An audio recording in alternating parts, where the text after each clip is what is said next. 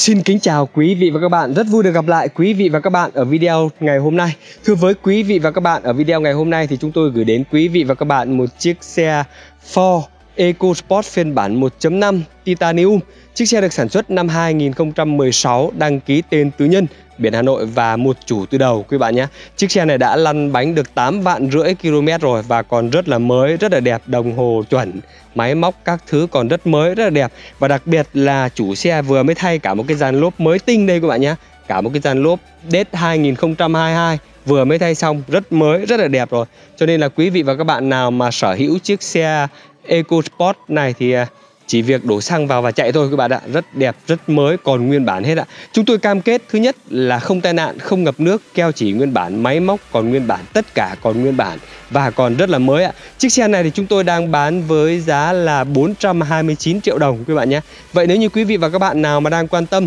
đến chiếc xe Ford EcoSport 1.5 Titanium 2016 tên tư nhân biển Hà Nội một chủ từ đầu này thì hãy liên hệ ngay theo số hotline của ô tô 360 chúng tôi đang để phía dưới góc bên phải màn ảnh quý vị các bạn đang xem đây ạ là 0905 608 883 để được chúng tôi tư vấn hoặc chúng tôi có thể mời quý vị và các bạn qua địa chỉ cửa hàng chúng tôi 16 phố Tố Hữu, phường Trung Văn, quận Nam Từ Liêm, thành phố Nội để được xem xe và lái thử trực tiếp chiếc xe này ạ.